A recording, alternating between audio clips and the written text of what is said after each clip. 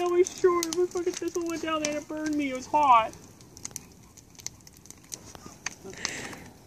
Next mag.